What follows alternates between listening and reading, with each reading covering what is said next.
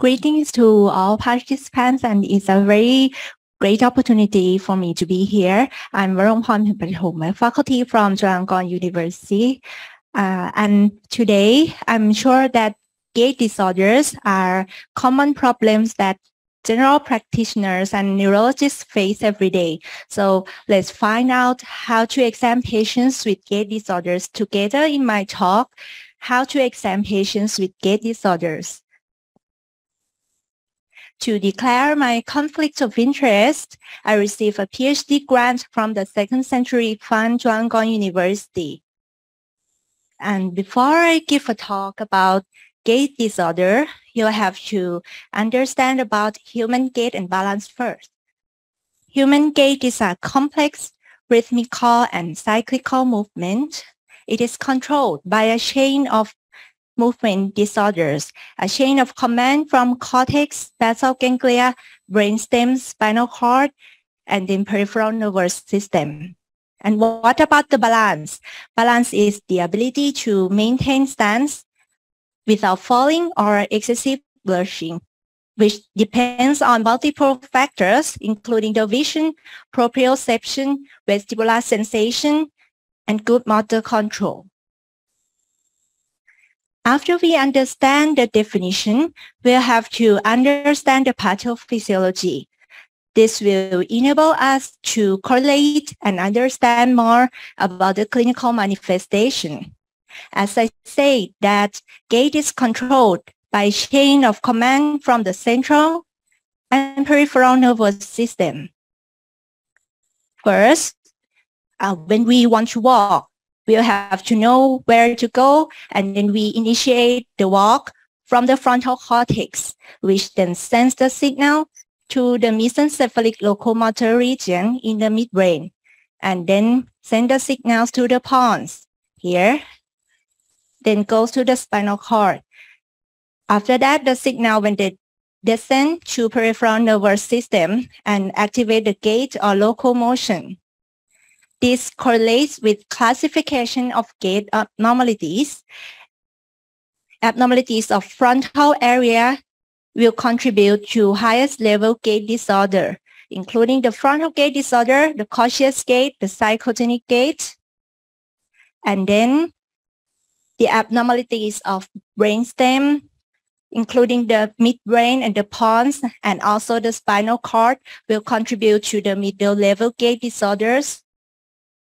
And then the abnormalities of the peripheral nervous system will contribute to the lowest level gait disorders, including the steppage gait and the waddling gait. So we'll talk about these abnormalities later on. Next, let's move on how to examine the gait disorders. We've already understood how gait abnormalities occur which will contribute to what we should notice in gait examination. So in this topic, we'll focus on three topics, including the basic knowledge of gait examination, the details we should focus on, and the differential diagnosis. For the basic knowledge of gait examination, you have to know that steps of examination begins with sitting, quite standing, walking straight for about three meters to evaluate the standard time up and go test. Then advise the patient to turn and then walk back to the chair. What is the time up and go test I mentioned? The time up and go test is as its name, the standard time which patient stands up and walk. So we measure this as an objective gait measurement uh, is a representative for gait measurement.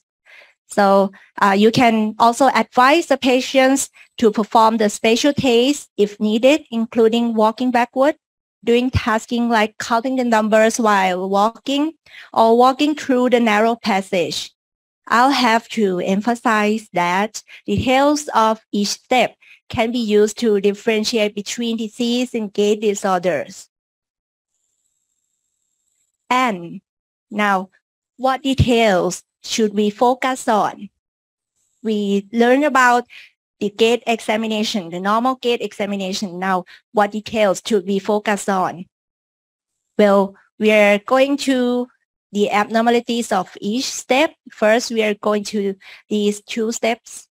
At the sitting position and quiet standing, we'll have to monitor for the posture, balance, and motor activity.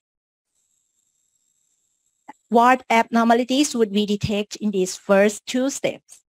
The abnormalities include postural abnormalities or the postural abnormalities of head and trunk, which can be best observed when patients sit or stand. Then let's see the differential diagnosis based on the abnormalities detected. You can tell the diagnosis of patient at first glance on the chair when they come into your examination room. The common postural abnormalities of head include backward dropping of head or retrocollis and forward dropping of head or we call it anticollis. The picture on the left here demonstrates the retrocollis. When we found retrocollis on examination, the common differential diagnosis should include the PSP, of course. Uh, however, there are other lists of differential diagnosis as in the blue box here, and we'll talk about this later on. So what about anticollis? What we would think of when the patients have anticollis? The common differential diagnosis should include the atypical Parkinsonism, especially the MSA, and also the other neuromuscular diseases like uh, the ALS or the myasthenia gravis also have the probabilities to have anticollis also. But please note that patients should have lower motor, neuron type weakness or other specific signs along with anticollis if you suspect ALS or myasthenia gravis. Another thing to be considered is to differentiate between anticollis and stool posture. Or if the stooping is severe, we call it the camptocormia.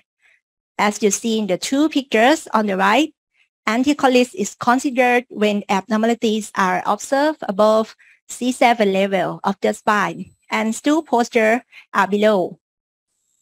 Why you have to differentiate this? Because the differential diagnosis and the treatment are different. Anticollis is mostly found in MSA or other neuromuscular disease, like in the middle picture, while stool posture is mostly found in PD. The postural abnormalities can be found at the trunk also. If patients lean sideways in abnormal degree, we call this the PISA syndrome. This can be found in advanced PD and atypical Parkinsonism. Some patients with musculoskeletal problem can present with the PISA syndrome also. Like patients with scoliosis or other vertebral abnormalities. So uh, it, it has been listed here about the other differential diagnosis of the PISA syndrome. But the typical diagnosis you should mention is the Parkinson's disease.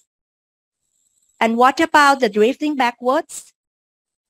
Of course, we'll have to suspect for opisthotonos, which may be caused from what we know tetanus or some types of poisoning. This can be found in atypical Parkinsonism like PSP and PD also.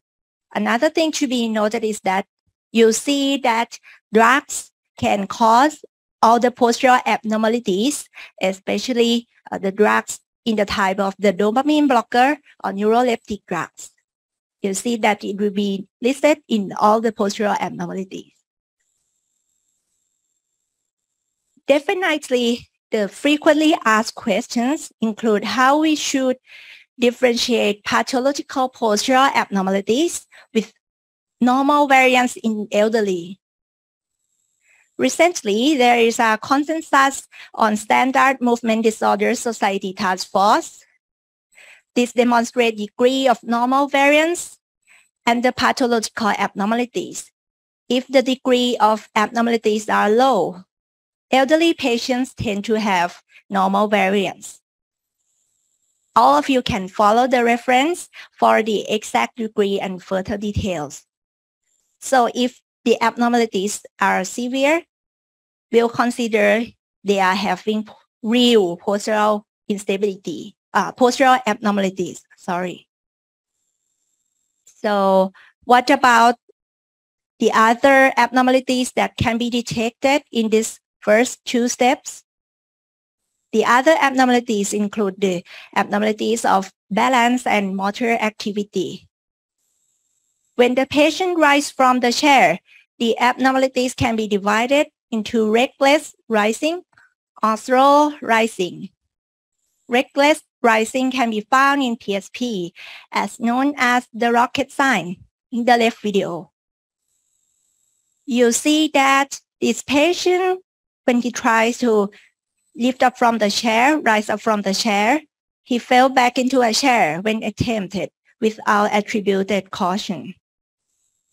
However, in the right video, you see that this patient has slow rising caused by his proximal muscle weakness, or if extreme, it can also be found as Gowers sign in muscular dystrophy, like in the right video. Other factors can also confound the rise of patients, such as musculoskeletal problems or pain. Mm-hmm. Now we are moving to the abnormalities in the four steps here. Before we go to the abnormalities in that four steps, you have to know about the gait cycle. You can compare the demo, demo picture at the first row with the real video at the second row. The gait cycle starts with stance phase and ends with swing phase. Stance phase is when any feet contact with the floor and the swing phase is when any feet is in the air. In the stance phase, the first step is the heel strike and the beginning of the gait initiation. Then the foot is fully contact to the floor and ends with toe off. So what we would monitor in the stance phase, we can evaluate the stance width which is divided into narrow-based and wide-based gait. Other things we can evaluate is the step length and the stride length. The step length is the distance between right and left feet here. And the stride length is the distance between the same step, like in this figure. In the swing phase, the abnormalities can be detected in the arm swing. So next, what details should we focus on? These four steps here. When patient walks straight, turns and walks straight back to the chair, we'll have to monitor details as listed, which are correlated with the gait cycle I have previously mentioned. The special test can be performed if you don't see the abnormalities in the basic examination. So what abnormalities can be detected? They're listed as followings. So let's see the details of abnormalities for the differential diagnosis. And the first one is the freezing of gait. Abnormalities of gait initiation, maintenance, and termination can be observed as freezing of gait. So freezing of gait is defined as a brief episodic inability to generate effective steps despite the intention to walk. It doesn't occur all the time and has various clinical manifestations depends on the provoked situation. Like when patients are at the start, turning, approaching the target, or if severe patients can have freezing when they walk in an open space. This spectrum of presentations can be found in PD or frontal gait disorders. So now we are moving to the second abnormalities, the abnormal stance width. Abnormalities of stance width can be divided into wide-based and narrow-based gait like I've mentioned in the previous slide. White base gait can be found in cerebellar ataxia. You will also notice that there are dysmetria of each step, but it is consistent in all of his steps. Patients with NPH in the second video also has wide base gait, but you'll notice that the step is a little bit short and she hardly lifts her feet from the floor. The most important thing in the second video is the arm swing is normal. You see that her arm swing is normal. So we call this the lower half Parkinsonism. The next video is the patient with MSA or atypical Parkinsonism.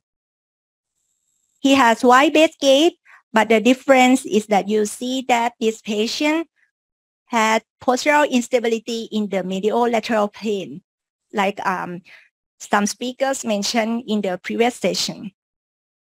Patients with PD have narrow base gait to compensate their postural instability in anterior-posterior plane. And the last video is the patients with spastic gait. You see that they have narrow base gait due to their muscle spasms. Now let's move to the third abnormalities, the abnormal steps. They can be divided into reduced step height, increased step height, and irregular or asymmetrical cadence. Reduced step height can be found in Parkinsonian or frontal gait like this because patients have brady or sometimes hypokinesia. It can also be found in neuropathic gait like this video in which patients have weakness, so they cannot lift their feet from the floor, and the step height is reduced. However, the increased step height can also be found in choreic gait here. An example is a levodopa-induced dyskinesia as known as the silly walk.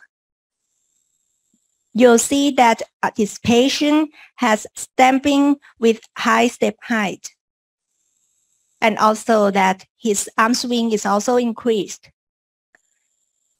For the last video is the patient with the cerebral ataxia. You note that this patient has irregular or asymmetrical cadence, or you see that the steps of the patients is very irregular, which can be found in cerebral ataxia.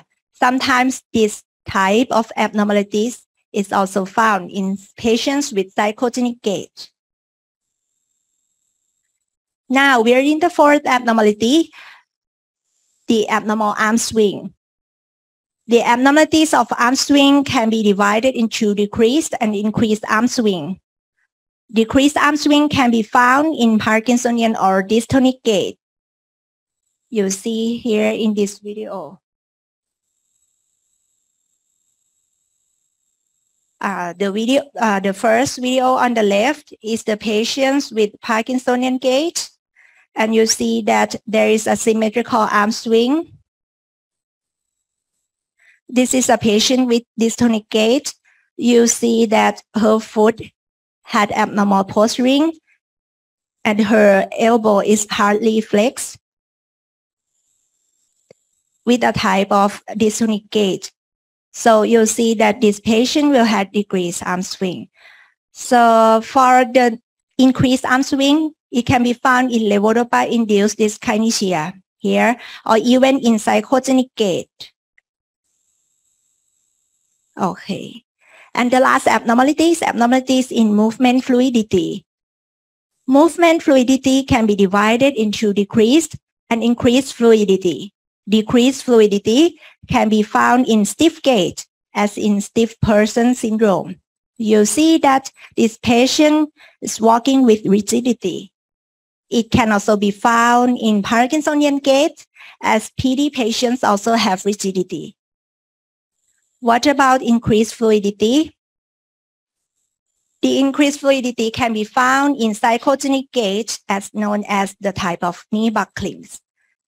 This is a sign which is very specific to psychogenic gait. And increased fluidity can also be found in other types of gait like the Trendelenburg gait. The patients have fluidity of pelvis when they walk because they have proximal muscle weakness. Before the end of the examination, physicians can perform additional tests as shown. It supports the disease you suspect. The Romberg test is performed by patients moving the feet side to side, folding the arms to the chest, eyes closed. This test will elicit sensory ataxia. The next test is the tandem gait, which is performed as shown on second video from the left. The test can be impaired in patients with medial lateral instability, such as atypical Parkinsonism and ataxia. Walking backward can be used in dystonic gait to elicit task-specific dystonia and functional gait to demonstrate inconsistency. Also, walking rapidly can also be used in patients to provoke freezing. So how do we apply the gait examination into the detection of gait abnormalities, as I previously mentioned? This consists of the highest, the middle level, and the lowest gait disorders. Some are previously discussed, but I'll mention the common gait disorders and what we should observe to recognize each type of gait disorders. This is an example of how to put each fragment of observation into the whole picture. The first example is the frontal gait disorder. Patient will have wide base gait, decreased step length, and they hardly lift the feet from the floor. Or we call this the magnetic gait. The most important thing is the arm swing is normal. All of these are features of frontal gait disorder, which we'll go through this topic in the next section. Another example is the middle level gait disorder, the Parkinsonian gait, the common middle level gait disorder. In the sitting and standing position, patient may have stool posture here. When they walk, they may have freezing. When they start, the gait is low. And also the gait has narrow base and reduced in step height. There is also a decreased or asymmetrical arm swing, which can be observed like in the last video here. You can see that every features I've previously mentioned is looking into the whole picture as in this slide.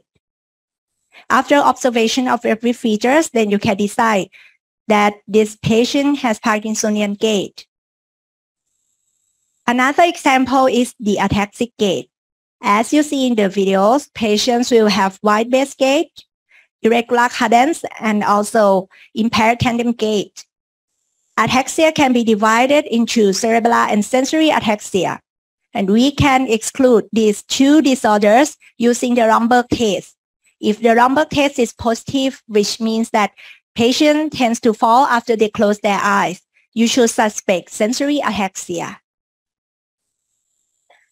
The next one is the steppage gait. You see that this patient has reduced step height and her hip and knee is excessively flexed because she hardly lifts her feet from the floor from the weakness. So this is the character of the steppage gait. And this is the lowest level of the gait disorders. So for my conclusion, Gait examination should always be performed in patients with neurological disorders. It can tell us many diseases. And you see that there are steps of examination, including from sitting, standing, walking, and turn. Careful observation is a key to differentiate disease with gait examination. So when you examine patients with gait disorders, I suggest that you should carefully observe details of each phase and put them together into the whole picture. This will lead you to the differential diagnosis and prompt management of the patients. In the next section, we'll have discussion on various cases of gait disorders so that you can understand more about each type of the gait disorders based on the cases. Thank you for your attention. Uh, thank you, Dr. Warren Pon, uh, and for very interesting uh, presentation with uh, many uh, video. Um, in this presentation, uh, Dr. Warren Pon uh, give us uh, two level of uh, gait disorder, highest, uh, middle, and lowest. And uh, we have uh, two topic to examine. So please,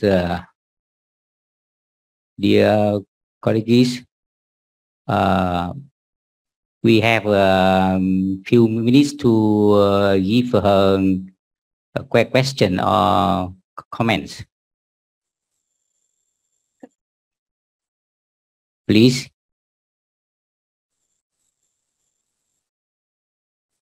Yes, please propose.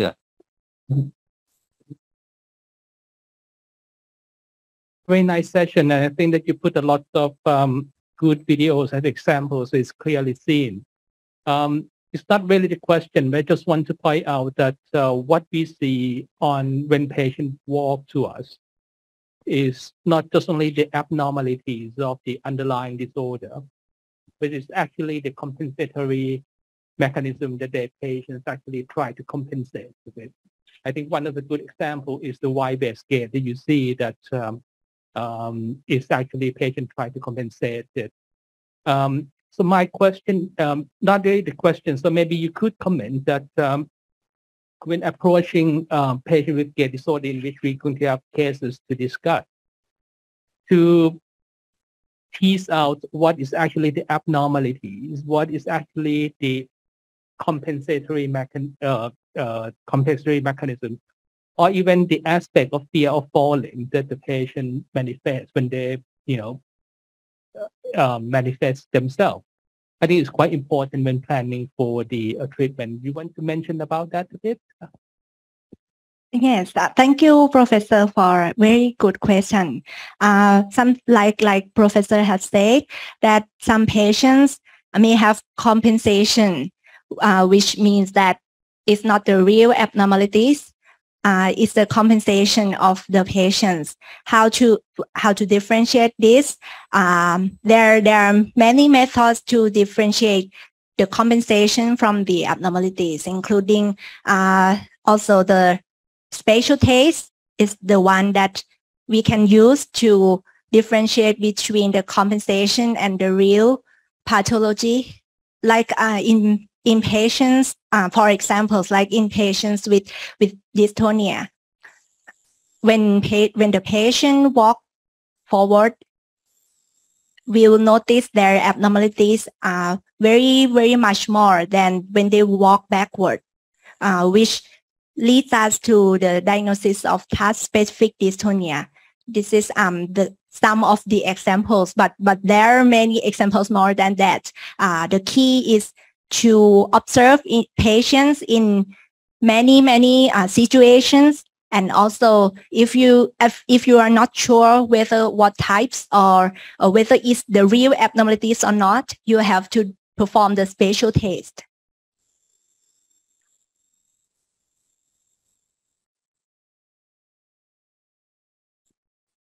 Please.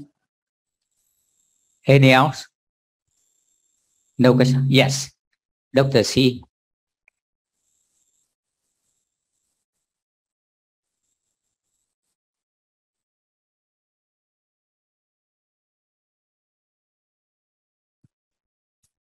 Thanks for your interesting presentation. Because every everybody have their out gait, right? So what is the criteria for wide or narrow uh, pay or long or short step, small step? Uh, because uh, we, sometimes we have argument. Uh, some doctors say it's a small step, but other doctors say it's not, it's normal. So what is criteria for small or abnormal small step? Oh, thank you. Thank for your very good question. So um, uh, I'll, I'll divide the answers into two parts. So the first part is, um, is there any um, numbers for for uh, for you to tell whether it's the short or the long? Uh, there's still no consensus uh, of the exact number to tell, but we have um, many, many literatures reviewing in the objective measurement of each type of gait abnormalities, like uh, if the patients with Parkinsonian gait, there are some reviews that uh, tells that patients have uh, the, the step length of about 30, 30 to about 50 centimeters. So, so if you want to um, differentiate between the short uh, or the long or the reduced step height, I recommend that you should compare with uh, the normal healthy people with the same age because uh, if the age changes, the patients are older, the step length and the step height uh, is revealed to be shorter. So when you compare, uh, you want to tell whether the patients have um, the abnormalities of gait or not. You have to compare with the uh, with the healthy people in the same age. But for the exact number, you can uh, review the literature based on uh, the abnormalities or the disorders. So thank you for the question and uh, discussion. Uh, and now the um, it is time we move to the second phase of our session to, to today. Uh, again, Dr. Warongporn Paton give us a video-based case discussion on gait disorders. Please, Doctor. Thank you for your great introduction again and, and seeing you again in this section. So uh, we are moving to the video-based case discussion on gait disorder. So first, my first case is a 70-year-old male with gait difficulties for four years. So please see his examination at the left compared to the right. Um, any volunteers want to describe some of the gait?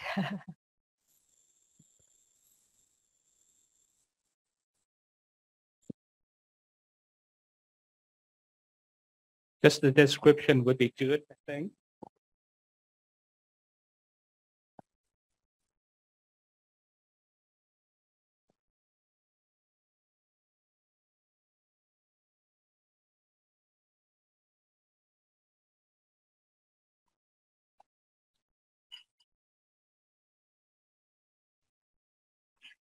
Thank you. Okay.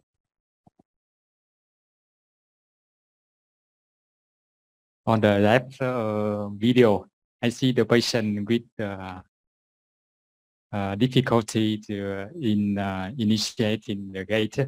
And uh, when we compare the right step and the left step, the the left step is longer than the right step Mhm. on the left video. But uh, in the right video, we can see the, the longer up step is longer, better with the mark, laser mark on the floor.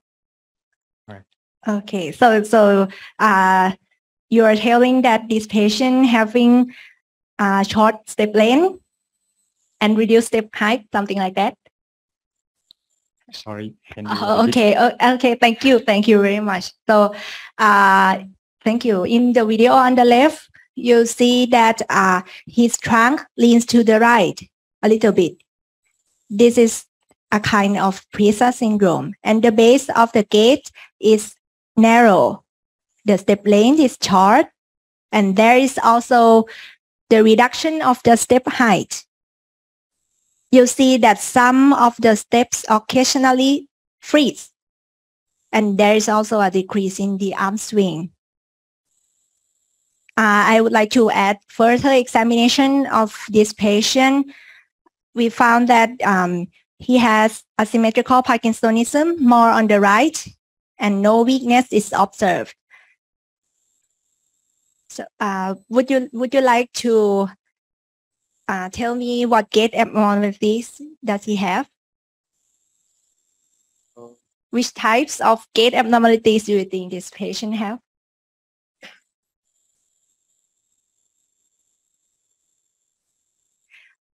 Oh, I, I, would like to add, add the E, sorry. Parkinsonian yes. gait. Yes, I'm, no I'm really sorry. Uh, you can add that for me. I think it's the street gait. Okay, the the kind of zip gait. Okay. Um. or freezing gait. Okay, freezing of gait. Thank you very much. So uh, I left the E for all the participants to add that for me. Thank you very much. Thank you. Please sit down. Thank you. So this is what we call the freezing of gait, a type of gait which is found along with the Parkinsonian gait in the middle level gait disorders. So there is a clinical spectrum of Parkinsonian gait disorder depends on the stage and the duration of the disease. In the early stage, as in the first patient, she seems to walk normally by observation. You see that? If if uh, we don't tell that this patient have abnormalities, somebody cannot notice that she really has abnormality. But when we provoke the abnormalities by uh, advise her to perform the special test like dual tasking or sometimes counting the numbers while walking, then we see the abnormalities. And for the second video, you see that there is a symmetrical arm swing. This is the progression of the gait disorder. The first two video is the patients with the early Parkinsonian disorder. And the last video is the patients with the late stage. You see that the base of the gait is narrow, the step is short with the low numbers of heel strike. And also there is festination. What is the festination? It's a tendency to move forward with increasingly rapidly and the steps become smaller and smaller associated with the center of gravity because the patient tends to fall. So they have to um, move, move their feet very quickly, very rapidly, and sometimes smaller. In the late stage of PD, some patients may also have freezing. As I said in the previous section, that freezing doesn't occur all the time. So it has various clinical manifestation, depends on the provoked situations, like when patients are at the start, turning, approaching the target, or if severe, patients can have freezing when they walk in an open space. And freezing can occur in different situations in relation to dopaminergic medication. This demonstrates that FOG or freezing is partially involved the dopaminergic system. Of freezing is found in majority. You can see in the left video that freezing improve after we increase the dopaminergic medication. And for the right video is the patient with the on FOG, which means that freezing can be found in both off and on stage. Why we can tell that these patients have on freezing? You see that her upper limb is very fluidity, moves quickly, and sometimes some patients have dyskinesia in their upper limb, so you can tell that this patient has on FOG. And for the right video, you see the left video, this patient has freezing of gait. Uh, but you see that after using something, using some devices, the patient uh, has improvement of his gait, right? What is this device? It's a kind of external cues. Cues are non-pharmacological methods to improve patients with freezing of gait. And there are many types of cues, including visual, auditory, or sensory. Each patient responds to each cue differently because the mechanism of action is different. However, there are common mechanisms. Cues improve the attention of patients. The patients pay attention very much to the light of the device. And also the compensation enhanced, which preserve the spatial temporal control of the gait. And um, now, so let's go to the next case.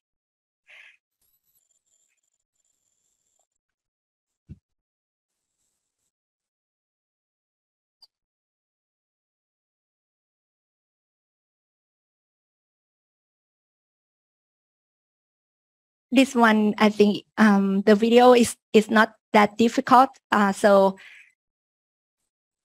any volunteers on, for, for me to describe the videos? and then you can decide uh, whether what abnormalities do they have.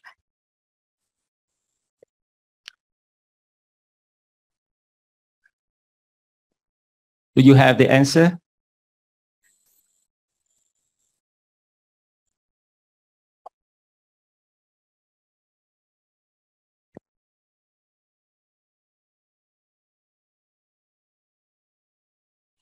Uh, we can see here the, the, the left left left left of the patient is stiff.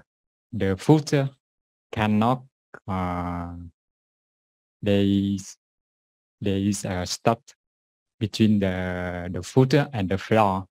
I think generally we can we can uh, use the name is the spastic gait.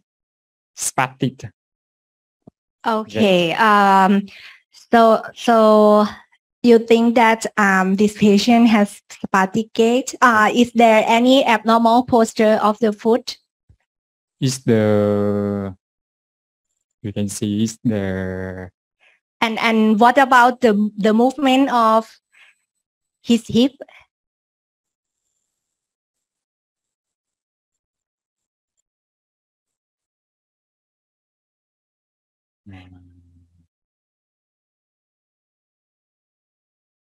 I, I can use the, the word is the internal rotation and inversion of the foot. Inversion of the foot. Great, great. thank, thank you very much. So you notice that there is abnormal posturing of left foot and the inversion of the left foot when he walks. You notice that. And uh, I kept the further examination to myself.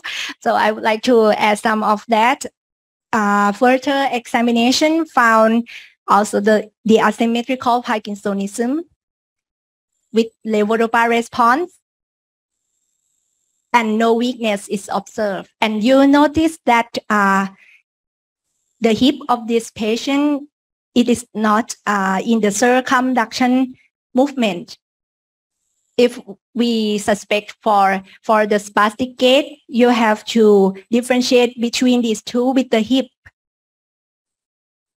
Uh, if the patients have muscle spasm, then um, he he hardly lifts the feet and also the the hip, and then there will be cir circumduction abnormalities of the hip. There will be things to to differentiate between these two. So uh, I'll go to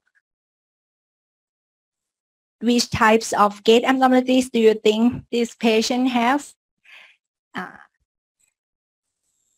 I, I think and well, I heard some whispering. Dystonic gait. Okay. Thank you very much. So this is what we call the dystonic gait in the middle level gait disorders also. So you see that an early manifestation is the inversion of the foot when the patient walks and the great toe can be flexed or sometimes can be extended. When it worsens, there can be more abnormal posturing at the legs, at the trunk, and the arms. And patients may improve when they walk backward, uh, like, like Professor Bhidayasiri has asked me about um, the kind of compensation. So when the patients walk backward, some some patients some patients with uh, mildly dystonia improves. And sometimes running can also be spared. So you see that the abnormalities occur only in the forward position. But if the abnormalities is very severe, the dystonia is fixed and you see as kind of uh, abnormal posturing at his foot. So this patient has dystonic gait and we approach the etiology of dystonic gait in the same way as dystonia. It can be classified based on age of onset, body distribution, and also the etiology. So uh, you see here that I compare the old classification and new in this table, and the old one is easier to remember and approach. The etiology can be divided into isolated and combined dystonia in new classification, as you see in the red box. And the etiology of isolated and combined dystonia are subdivided as shown. In this patient, he has dystonia and Parkinsonism, so he would have what we call the combined dystonia, right? And the cause of the patients with dystonia and Parkinsonism will be listed as shown. The dopa responsive dystonia, the rapid onset dystonia, and the young onset PD. In DRD, the patient will have onset of disease around 20 year old. And for rapid onset dystonia, the progression will be very quick at very young age.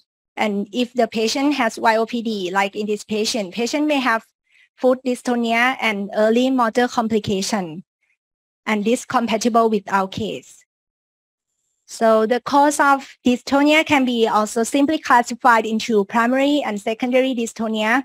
And because this patient has clinical of Parkinsonism with dystonia compatible with young onset Parkinsonism, his etiology is in the type of secondary dystonia as shown in the red box. And before the end of this case, I'd like to emphasize the red flags of secondary dystonia. In this patient, she has the presence of other neurological or systemic signs, which indicates combined dystonia and leads us to, leads us to the diagnosis of uh, the idiopathic Parkinson's disease. And also combined with um, the neurological signs of asymmetrical Parkinsonism. The next and the last case, here is a 50-year-old male with gait difficulties for five years.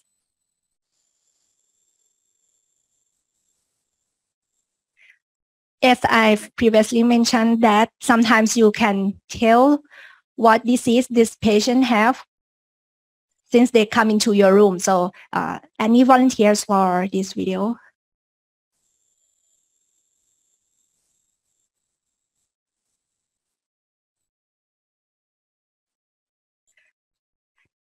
Thank you very much.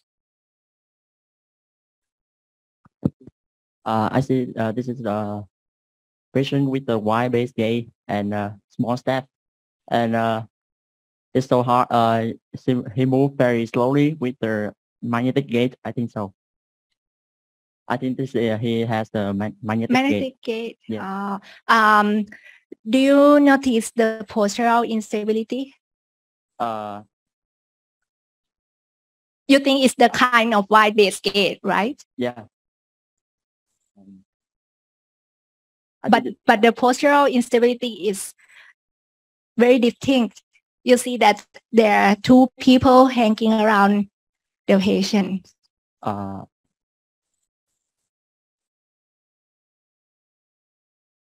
Is there any any type of wide base gait with marked postural instability? Uh, I think that is uh, ataxic gait. Another word. Uh, yeah. Thank you. Thank you very much. So, so you need notice that this patient has poor balance and, and what you notice is that he has wide base gait. Also, the stepping, you see that the direction and the distance is very irregular compared to when normal people walk. It's very irregular and also somewhat dysmetria. And also you will notice that there are purple bags, a purple bag here. It's a urine bag. So this patient has autonomic dysfunction, a signs of autonomic dysfunction.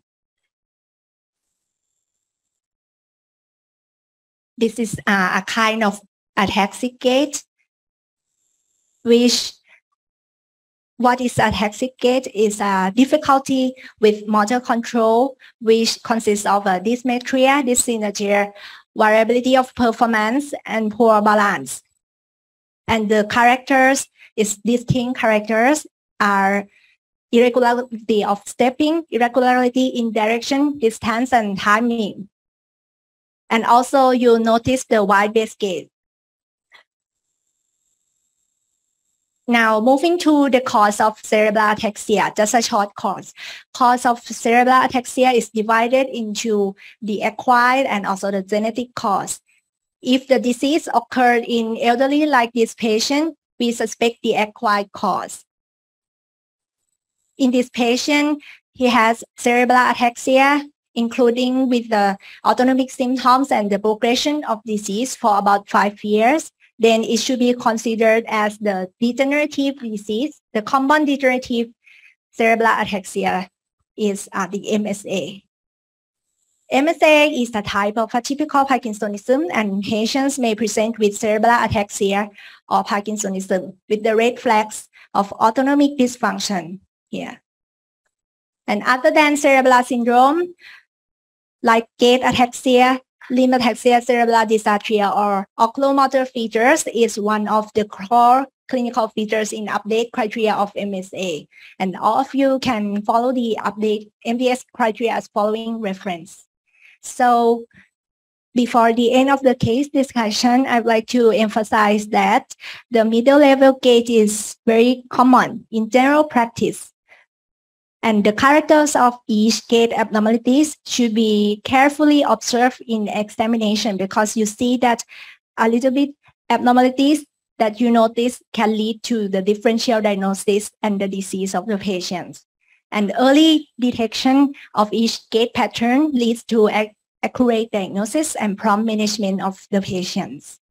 Okay, so next section, we'll have more cases from our colleagues from Laos, and uh, so I would like to, to end my section today and then let's follow the next section with our colleagues.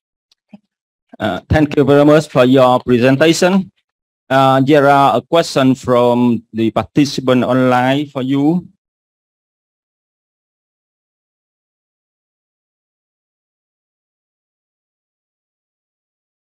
I just want to point out that um, what uh, when, when we look at the um, patient and we try to differentiate it, um, it's very common that we see the overlap. I think what you just discussed before, you know, um, um, the potential of it being magnetic, like for example, because you know you observe some of the features that you think is overlapping. Um, but at the end, you know, we see the patient as a whole and we try to decide what are the predominant uh, features in that, like in the case. Like in the last one, what you see, what is quite striking is the upper body sway that you know, supported by two um, uh, uh, pay, uh, people side by side. So probably that's implied that that is a medial-lateral sway quite significantly in that patient combined with the presence of the catheter. Um, and that is what is thought to be the more ataxic nature uh, per se. And the poor foot clearance that might be related to what our patient is trying to compensate it because, you know, with the fear of falling and the instability of the trunk of, of the upper trunk, um, he would be fearful to lift his foot off the ground. Yes, uh, the question is uh, how could we differentiate between stiff gait and paraparetic gait? Um, for the characters of the stiff leg, uh, you see that uh, there, like like professor has said, that there are some types of gait that has overlapping features, uh, like these two gait abnormalities from the questions, the paraparetic gait and also the stiff gait, there are overlapping features like uh, reduced step height. So sometimes, um, sometimes some people can can misunderstand the observation. Uh, but the things that will help would be the movement fluidity. Uh, but it's not 100%. So you need further neurological examination also. Uh, the movement fluidity in um, the patients with the with the stiff gait, with the stiff gait, uh, will be decreased. But in the patients with uh, the paraparetic gait, the movement fluidity will be uh, the same, or sometimes uh, it's not markedly decreased. You can um, differentiate between these two with two things. So um, the movement fluidity, the first one, and the second one is further neurological examination. Uh, you see that um, the paraparetic gait, the, the main abnormalities would be the weakness and also the hyperreflexia. If it's the upper motor neuron weakness. Uh, yes, uh, thank you. And uh, I uh, also ask you a question. Uh, how do you uh, differentiate between the uh, cerebellar ataxia and frontal ataxia? Frontal and cerebellar? Yes. Oh, yes. Uh, so um, the distinct feature, uh, at first, uh, we'll come into to the pathophysiology between these two. Uh, the frontal gait disorder uh, is caused by the abnorm- abnormalities of the frontal gate, right? So uh, the abnormalities between these two start from from the first phase of gait, from the gait initiation at first. Uh, the frontal gait disorders will be slow. There, there will be slow gait initiation. And also the step of the patient will be uh, reduced there will be short step length. The patient hardly lift the feet from the floor. And also the stance of uh, the base is wide, but with, with um, the correlation of the abnormalities I have mentioned. So you notice that uh, they are they are not the same. If the patients have cerebellar ataxia, the initiation will be good, not so bad because there are no abnormalities at the frontal cortex. And then when you walk, there are dysmetria of the steps. Is the distinction from, from the pathophysiology if you don't want to remember the abnormalities of each one. Uh, yes, so the last uh, the, the last case, do you think that case is the uh, frontal ataxia? It's not cerebellar gait because the patient have the uh, the the pace uh, uh, wide and uh, uh, slow um, step and uh, uh, uh, slow movement, uh, uh, something like uh, frontal ataxia Yes. than yes. uh, cerebellar gait.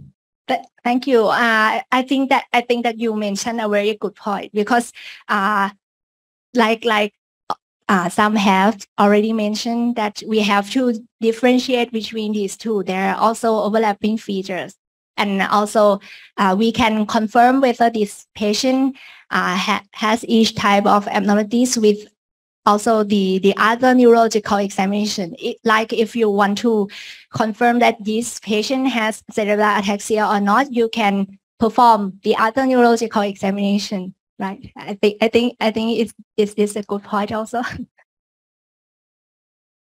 Thank you very much. Uh, thank you so much again.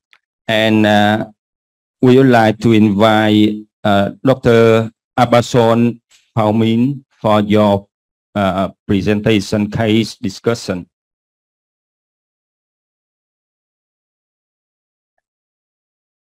Uh, Dr. Abason uh, Paumin is a neurologist uh, from uh, Setan uh, Tiras Hospital, University of Health Science, Laos.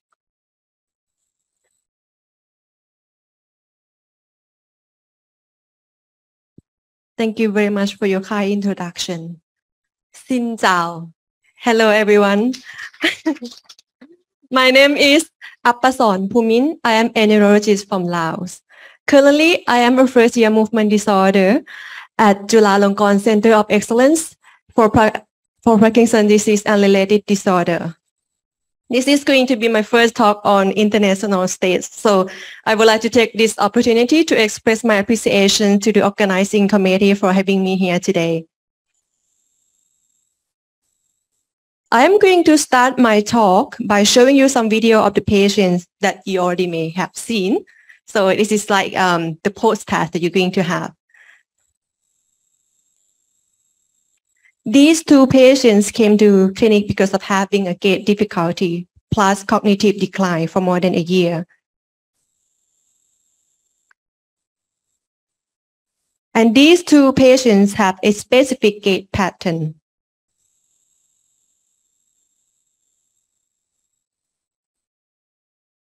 It seems that they all have gait difficulties. In other words, gait disorder. So what is gait disorder and what pattern of gait do they have? Gait disorders are common disorders that usually found in old adult and increase by age. For the group of 60 to 69 year olds, it can be seen about 10%. But at the age of 55 or more, it can be seen up to 82%. If you take a look at this flow chart, when patients have gait disorder that relate to age, falls always occur. When patients experience falls, it's always followed by either immobility, injury, or a fear of falling that cause them to end up with morbidity, quality of life decrease, and mortality. Gait disorder are very complex this presentation will follow the classification of Nutt, Marsden, and Thompson proposed in 1993, and it had been commonly used. There are three classifications of gait disorder, namely lowest level gait disorder, middle level gait disorder, and highest level gait disorder. The first two classifications have already been discussed by Dr. Walongporn, so I am going to talk only about highest level gait disorder. Highest level gait disorder is a malfunction of the cerebral hemisphere and include disorder arising from psychiatric origin. These disorders are not completely distinct from each other, so patients may have more than one characteristic and may progress from one to another. There are many subtypes such as cautious gait, frontal gait disorder, frontal disequilibrium, isolated gait initiation failure, subcortical disequilibrium, and psychogenic or functional gait. This is a figure showing a relationship of the three different subtypes arising from frontal lobe dysfunction. Frontal gait disorder, frontal disequilibrium, and isolated gait initiation failure are frequently difficult separate from each other and might be considered very presentations of a frontal lobe dysfunction as they can overlap by time. For example, patients can first present with gait apraxia and later shuffling, freezing of gait, and poor balance can be seen. The common gait pattern in all adults are frontal gait disorder, cautious gait, and psychogenic gait. I'm going to discuss with this pattern in my presentation. I think some of all of you have already seen this video. Uh, can anyone help me to uh, tell to talk about the phenomenology of these patients? This is like the post test.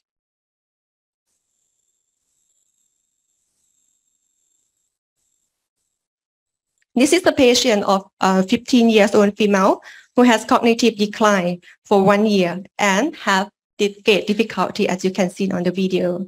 Can anyone tell me her phenomenology and the sign that you see? Yeah, this is a very good video that contrasting with what Barong uh, shown in the last page and actually. Let's try again. Thank you. Uh, I see that uh, this patient have a uh, wide-base gait, uh, small step, and uh, normal arm swing. And um, the history patient have a uh, cognitive decline for one year. Uh, Yeah. I think this patient have a uh, magnetic gait and their uh, NPH maybe uh, diagnosis for this patient. Yes, thank you very much. That is the correct answer. Dr. Walongpon is very happy. this is the magnetic gait. And you can be seen in frontal gait disorder. Frontal gait disorder is most common pattern in highest level gait disorder. It look like Parkinsonian gait at the patient pa- present with short shuffling step, poor balance initiation failure, hesitate on turn. This is called magnetic gait. But you, but if you have a look at the other book, or maybe people other might um, discuss as the marche à petits pas or apraxia of gait. To differentiate with the Parkinson disease, uh, this kind of pattern, pa- patients do not have the abnormality on the upper limb. There, there is no tremor, tremor, and most importantly, there is no response to levodopa. This kind of pattern is called lower half Parkinsonism or lower body Parkinsonism. This is common differential diagnostic of frontal lobe dysfunction categorized by different etiologies such as vascular, pressure-related, neurodegenerative, autoimmune, and neoplasm. The most common and had been studied the most is normal pressure hydrocephalus and frontotemporal dementia.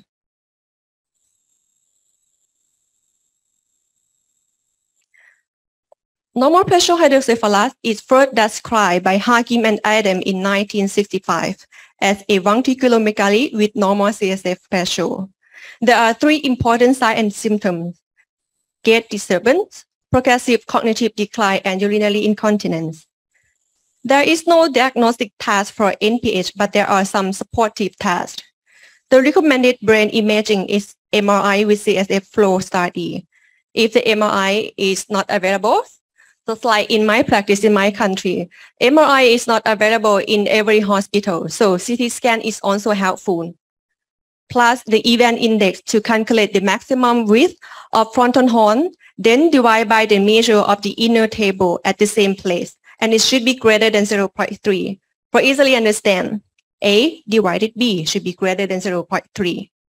The best test that should be performed is TAP test.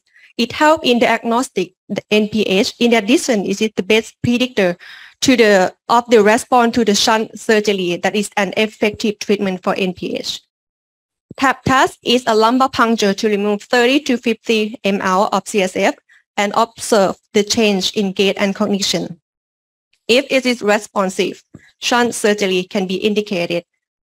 The surgery has a clinical response to 30 to 90% and gait disturbance is a clinical symptom most likely to respond to uh, this surgery.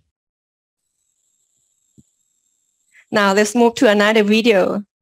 Can anyone help me to describe the phenomenology of the patients and the sign that he has?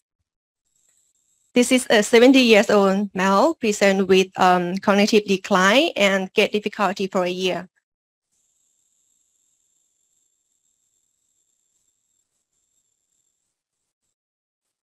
Can anyone? The post test.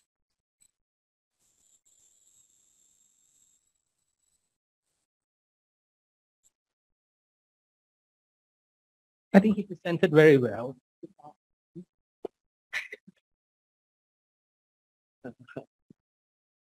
Uh, yeah. Okay. In this video, we uh, we see a, a man with a narrow narrow space, small tap, and when the patient walking the narrow space, uh, the gait is uh, we call it, we call it freezing up gait, freezing up gait when, and he must use some cues to to help him to overcome the mm, that narrow narrow space. Do you, Okay. s- do you see other side?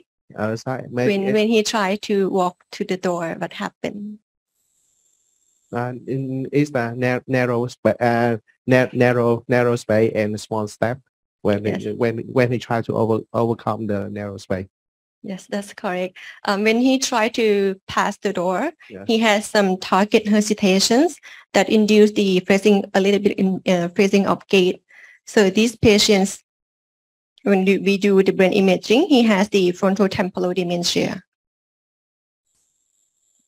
Frontotemporal dementia is first reported by Arnold Pick in 1892 as a clinical syndrome associated to frontotemporal lobe. FTD is the fourth common dementia behind Alzheimer's disease, vascular dementia, and dementia with Lewy body. It affects 1 to 16% of patients with dementia. Unlike Alzheimer's disease, FTD over occur at middle-aged adult as age at onset is between 45 to 64 years old. That is up to 60%. 10 to 15% appear to inherit in an autosomal dominant. And the three mutation genes are MAPT, GRN, and C9ORF72. There are two subtypes. Behavioral variant is the most variant, nearly 60%, and the, and the other one is primary progressive aphasia, that is about 40%. The PPA is divided into three subtypes, semantic variant, non-fluent agrammatic variant, and logopenic variant. When this is progressed, gait disturbance can be seen in every subtype. Now moving to another example of gait pattern. By watching this video, can some of you tell me what is this sign? You already seen this video before.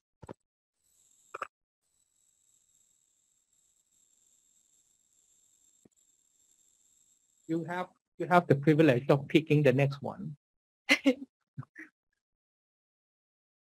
Are we picking the next one? Yeah, Yes. you can pick the next one. You have the privilege. Uh, uh, sorry. Uh, yes, I think this uh knee buckling. That is correct. Yes. That is knee buckling. How about the second one? Oops.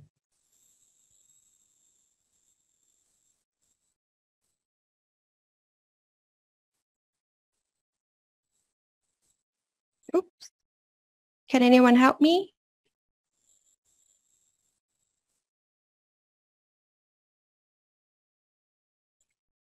Um, uh, I see the, the patient uh, had wide space uh, gait and uh, the um, the arm swinging are normal and uh, he has um, maybe stoop uh, stoop uh, posture. Maybe I guess the the dia- diagnosis is um, ataxic ataxic uh, gait. That is very good answer. Actually, uh, the first the per, the first patients um, present with the knee giving away. This is the uh, knee buckling, and the second patient present with broad base step with decreased stride length and height. This term is called walking on ice, and these two pattern can are seen in psychogenic or functional gait disorder. This is the seven feature of psychogenic or functional gait disorder initially elaborated by Lempert. The most common feature is knee buckling, walking on ice, that is a mimic ice skating or as if on slippery ground. The other common sign was highlighted in the red color. I would like to end up my presentation by taking home message. It is very common in all adults to have gait disorder, and it is increased by age. It could be seen up to 82% at the age of 55 and more. Gait disorder induce falls. Patients end up having a lower quality of life or in worst case, it increased mortality rate. There are many gait patterns in highest level gait disorder. Thus, there are clues to help in differentiate or diagnostic subtype. And this is very, very important to identify subtype and manage by its cause because it could help in fall prevention. Last but not least, I please remind that the early detect gait disorders cause can help in fall preventions and promoting better quality of life for patients. So thank you, thank you very much for your kind attention. Cảm ơn. Uh, thank you, Dr. Abason Faumin, for your presentation. Uh, do you have any question and comment? Just just have a quick comment here. Um, I don't know if if the audience um, have the problem like when I used to be um, a junior doctor and the resident that when I see all these videos, I confused. I was confused with all the terminology used in the literature. Because when you go back to the literature, many of them are quite old and many of them are descriptive. So you encounter um, the, the, the, the descriptions of various sources of the cars, and sometimes you get confused. Like, for example, you see frontal ataxia. What does it mean? Is that frontal or is it ataxic? Um, gait apraxia, frontal apraxia. How could the frontal lobe be apraxic, something like that? Or subcortical disequilibrium gait of the elderly, sometimes Bruns ataxia and so on. And I think that um, I just want uh, um, you know the audience to realize that um, these are from the old literature and they are descriptive. And with the advances in the investigation and technology, particularly uh, with the neuroimaging, uh, those has been classified. So, you know, I, I mean, for me, I think it's easier to go by the classification. And once we go by the classification, we can match it with the description. And I think that you will understand uh, uh, more like uh, why that happened. Like when you realize that higher level gait disorder, like a frontal, um, they walk like that, what we discussed, you would not be confused that why they call it apraxia, which is not indeed not apraxic at all. It's a misnomer, but it has been used from old days, so it has so it continues to be used, to be described. Yeah. Just a comment. Th- thank you. Uh, any comment and questions?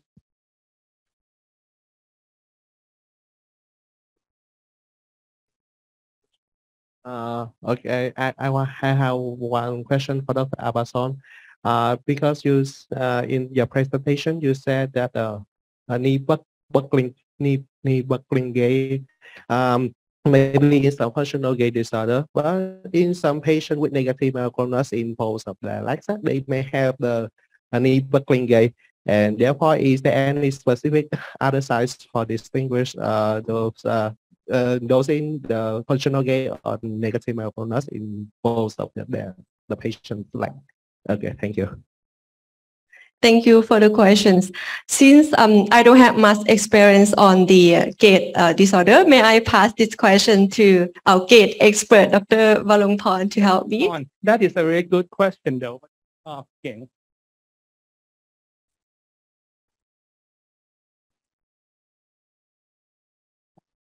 Uh, so, uh, yes, you, you mentioned a very good point that um, some patients, uh, like you mentioned in patients with myoclonus, right?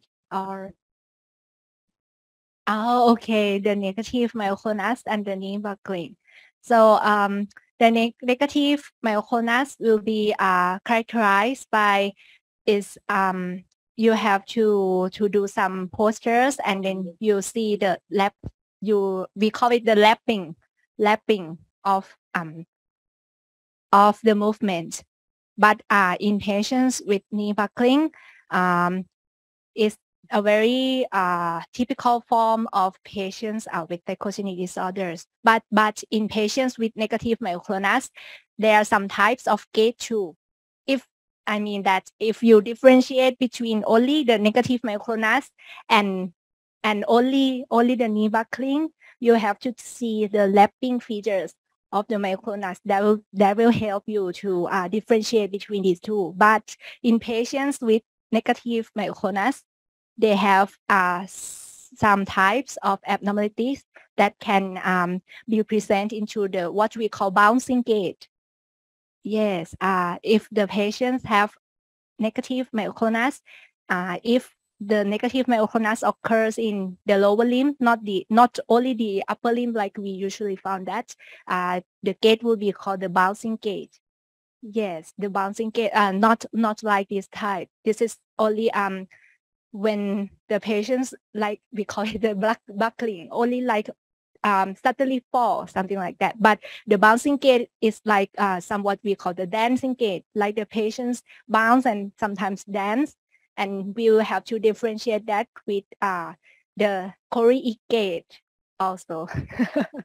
but but but uh to to to to say simply you can differentiate simply simply differentiate that with um the maneuvers like like what I've told you uh the lapping phenomenon and also if you want to to uh see the gait disorders of patients with leg, you will you will have to uh notice the bouncing gait.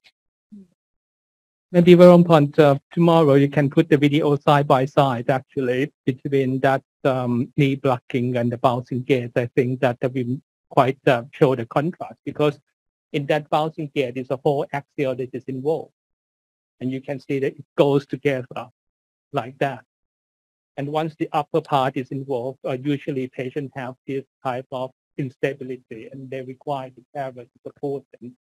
And you can see that the knee buckling is very different sometimes it's quite almost like astasia abasia when you do like that, but um, it's not exactly the same. But um, you see it's just the lower part is more involved.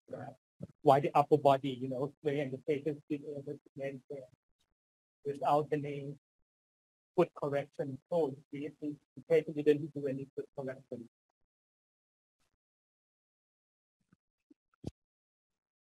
Uh, there is a question for Professor Roongroj uh, from the participant online.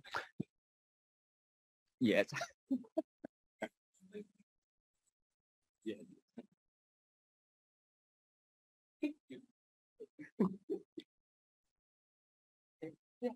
Yes. Uh, what do you what do you do for MSA with uh, laryngeal stridor in real practice? Uh, do you think about RTMS for MSA? Or the treatment for the laryngeal stridor, you mean? Yes. Okay. Um, this um, this is very important question actually because the stridor once occur is a poor prognostic uh, risk factors in patients with MSA, and it has been demonstrated to shorten uh, uh, disease survival in those who have that stridor. However, the, the confirmation of the you know, stridor in, in MSA patients, particularly in the early stage, could be quite difficult because it's usually started in the nighttime. And the daytime, the patients might look perfect. So, you know, they, the carer might say that, oh, heard something, you know, abnormal breathing sound at night. And during the day, you know, the patient just fine. You refer the patient for the ENT examination and they report it back normal. And I, and I encounter this type of problem again and again. So in, in those who really suspected, we need to do the uh, video stro stroboscopic study during the nighttime uh, with, um, with the monitoring. And usually we documented those type of stridor. But it's quite difficult to do it in clinical practice, actually. So what I tend to do in practice is that if highly suspected, I usually, you know, ask the family to do the camera at home is quite easy actually. Nowadays the device is quite cheap. And they do the, you know, put on the, the, the home camera and, and do the monitoring for a few days. Bring the video to us. If we highly suspected, we actually show it to the, you know, to the ENT doctor. This is what how the patient encounter during the nighttime. And I usually you know, brings the patient to do the monitoring at night in the hospital um, uh, if, if those is highly suspected. Now, if the patient who have the stridor during the daytime is not much of a problem because you can confirm it. Because sometimes, you know, I heard the patients in the waiting room, they have this abnormal breathing stuff, and, you know, we actually spotted it and then refer the patient for the proper treatment. So the treatment per se for those stridor, I think is it is challenging because um, because ideally, ideally um, the treatment of choice eventually for those patients is tracheostomy.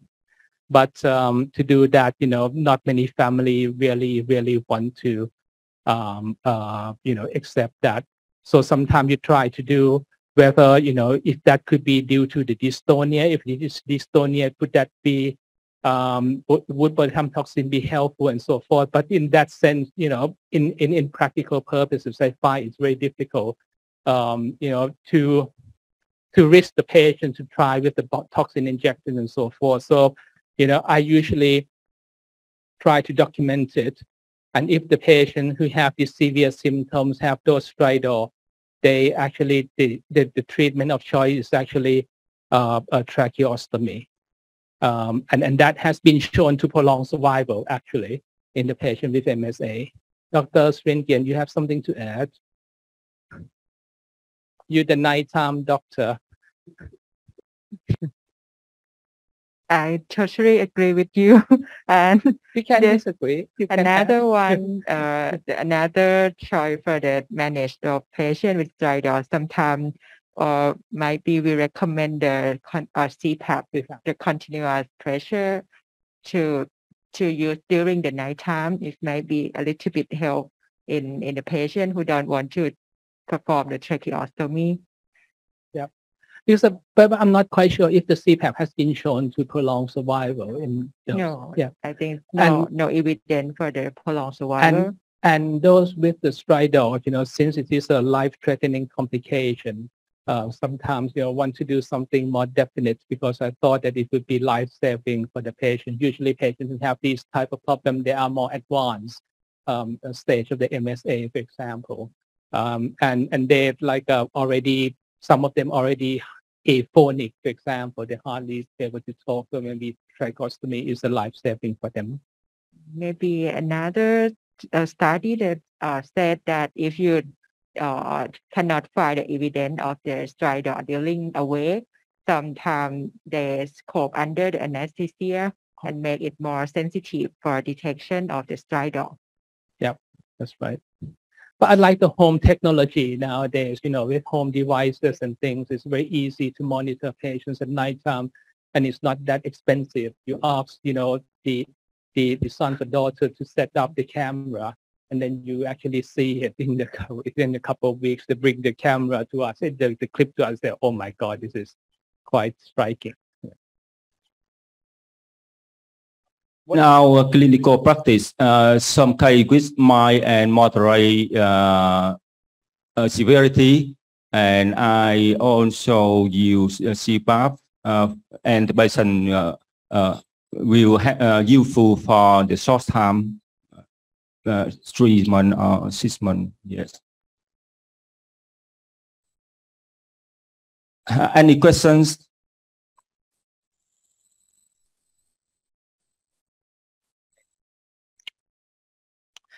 Yes, uh, we had a long day for very interesting uh, presentation, and uh, I think it's very helpful for for us uh, to to learn about. And uh, I think uh, it's time to stop today, and uh, tomorrow we will meet together at uh, eight thirty, uh, also in this room. uh, one, once again, thank you very much for the participant. Uh, thank you.